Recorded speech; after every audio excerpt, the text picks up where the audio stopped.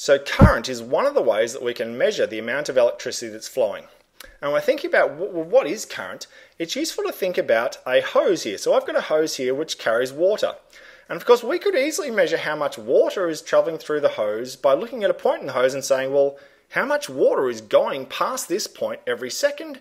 And we could measure it in something like, you know, something like liters per second. So water would be a whole bunch of water is traveling on the hose. Um, and we could just check out a point and go, well, there's, you know, one liter of water going past this point per second. And that would be very easy. So current's not actually very dissimilar to that. So over here I have a wire and electricity. So let's draw some electrons maybe. So electricity, electrons are all flowing along this wire. So what we can actually do is we can measure little packets of electricity as they flow along. So it's the flow of these charged particles. Um, and the, the way we basically measure them is we measure them in something called a coulomb and we do it per second. So instead of liters per second for water, it's coulombs per second. And a coulomb is like, it's a bunch of charge. So how, how many bunches of charge travel per second? Um, and that is either measured in coulombs per second, or really that's, that's really always measured in amperes or amps. So we measure the flow of current, so how much charge is flying around a circuit, we measure that in amperes or amps, and the symbol for current is uh, the symbol for current is I. Interestingly enough, the symbol for amperes or amps is the letter A. So how much current is there? You would say there might be there might be one amp of current, and that is how much of the charge is flowing along the wire at any particular time. Now, voltage is also a, um, a great way to measure how much electrical energy is traveling around a circuit. So again, let's have a look here at this uh, water pipe I've got here.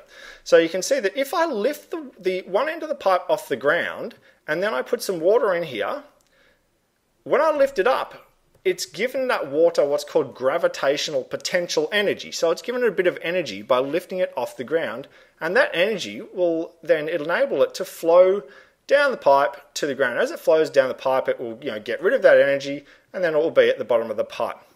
So basically, you know, if I lift the lift the pipe further up, I give it more gravitational potential energy. So looking over here again to our electric circuit, this is not very dissimilar. What a battery does is it provides electrical potential energy. So it provides, you know, the power for the charged particles, you know, to provide to do their work. So the water is going downhill; it's you know doing some work. Uh, the battery provides the, the you know the power, the electrical potential energy for the charged particles when they flow around. And the more the more power the voltage gives, the you know the more work the um, charged particles can do. So we'll have a you know a bit of a look at that, uh, and we'll, we'll, do that by maybe putting a bigger battery on both of these things. So if we put a bigger battery over here on the water pipe, you can see that the water pipe's now way higher up in the ground. And if, again, if I put some water up here, it'll now have more gravitational potential energy. And so it will be able to travel further down this pipe all the way to the bottom. So it will be able to do more work. It'll be able to travel further down because the battery lifted it further up. It's quite simple. Further up means you travel further down uh, and you, you, know, you get rid of more energy all on the way down. Well, having a bigger battery does exactly the same thing. It gives the charged particles more energy so that when they travel around the circuit, again, a circuit has to go from one end of the battery to the other. When the particles travel around the circuit, they're able to do more work. So they're able to maybe make a light globe glow brighter when, they, when those particles have a higher voltage. So a voltage is um, it's a measure of the electrical potential energy. So how much energy the charged particles have in an electric uh, circuit. Now, resistance is another way to measure what's happening in an, in an electric circuit. And again, I'll go back to my example of the water through the pipe.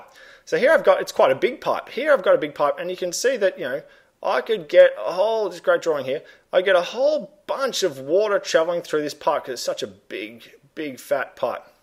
Now, if I increase the resistance to the water, so how can I make less water travel uh, along, you know, from this point to, you know, to this point? Well, what I would do is I get a littler pipe.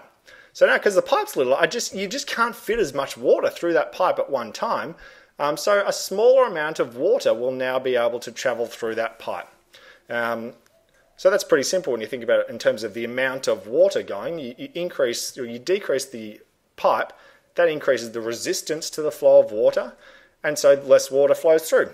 Well, electrical circuits, they're not really that different. So again, here I've got a wire here, and I can imagine I've got um, you know charged particles traveling along the wire, and they could travel. You know, there'd be a certain number of charged particles which could travel along this wire.